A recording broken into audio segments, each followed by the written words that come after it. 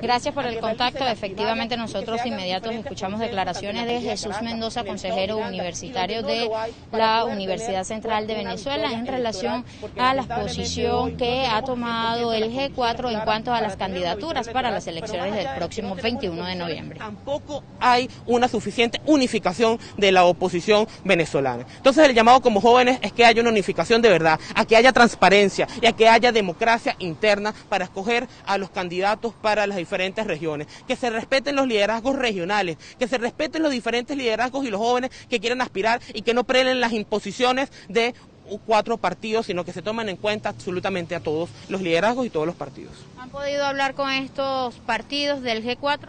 Sí, bueno, claro, por supuesto, hemos hecho llegar, yo vengo de un partido del G4, pero lamentablemente han prelado las imposiciones y nosotros lo que queremos hacer un llamado a que no haya imposiciones, a que haya transparencia y que haya una verdadera unidad.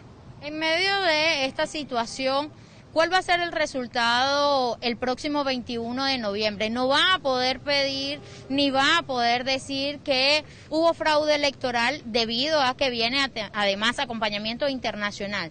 La oposición venezolana, incluyendo la dirigencia estudiantil, la juventud, no ha logrado ponerse de acuerdo de cara a las elecciones del próximo 21 de noviembre.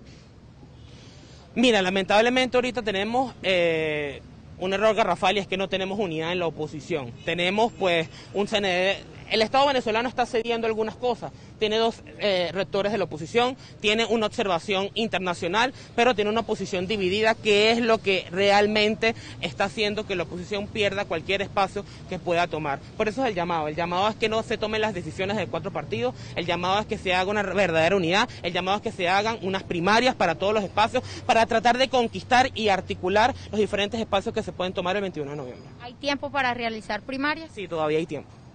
Todavía hay.